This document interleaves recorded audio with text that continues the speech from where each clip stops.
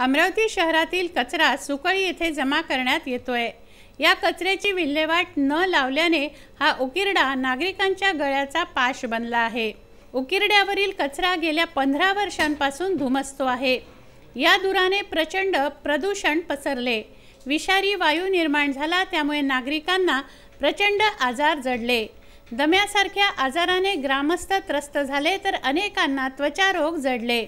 विदर्भ न्यूजने या संदर्भात सर्वप्रथम वृत्त प्रसारित केलं होतं. सर्वसामान्य आर्थिकदृष्ट्या दुर्बल नागरिक गावांमध्ये राहतात. गरीब मजूर वर्ग मोठ्या प्रमाणात आहे. त्यांची आजारांवर खर्च करण्याची ऐपत नाही. त्यामुळे अनेकांना आपले प्राण गमवावे लागले आहेत.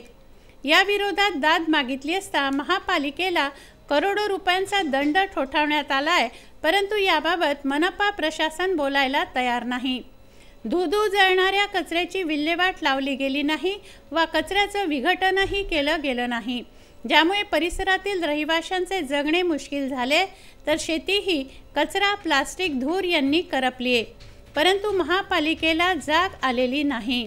Vidarbha news bureau Amravati.